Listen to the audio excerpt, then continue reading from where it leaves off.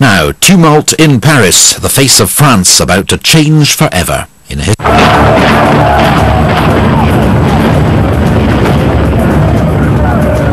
This program sponsored by Cossacks 2, the definitive Napoleonic strategy game.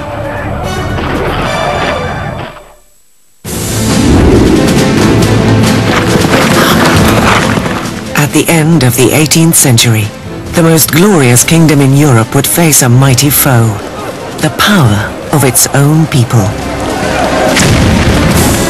One man would rise to inspire the nation to cast aside a reluctant king and a hated queen.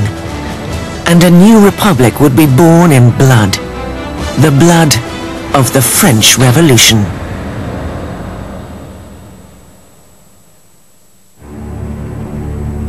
Seventeen ninety-four, the Conciergerie prison in Paris. An impenetrable fortress on the banks of the Seine. Dank, rat-infested. It is known as Death's antechamber. Inside, what was once the voice of the nation is about to be silenced. As his hair is shorn and his neck laid bare for the blade of the guillotine, Maximilien Robespierre is about to be fed to a monster of his own creation.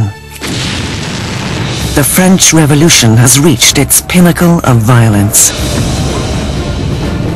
French Revolution is this extraordinary moment when people began to believe that you could actually recreate almost everything in a society, that you could not only change the politics, the institutions, but you could change human nature itself through political action. The French Revolution really does constitute the crossroads of the modern world where everything begins to turn in a different direction. The revolution saw a feudal land turn its back on aristocratic tradition and chart a violent new course towards the future.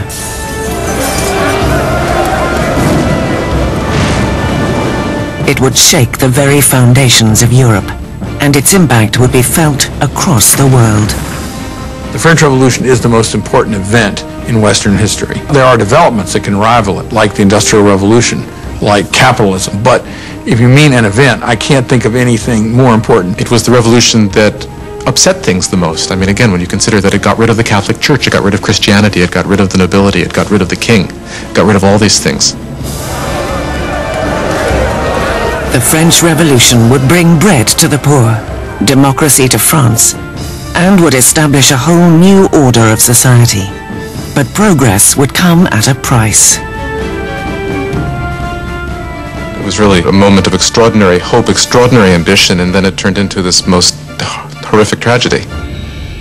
Now broken and defeated, Robespierre, not two days before, had stood triumphant at the head of the greatest political revolution in Europe's history. So true to its ideals, he was called the Incorruptible. So powerful, his slightest utterance could cloak an entire city in fear.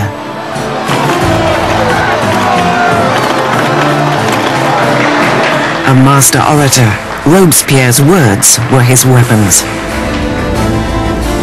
Now, silenced by a bullet to the jaw, he awaits the same swift and brutal end that he has ordained for so many others.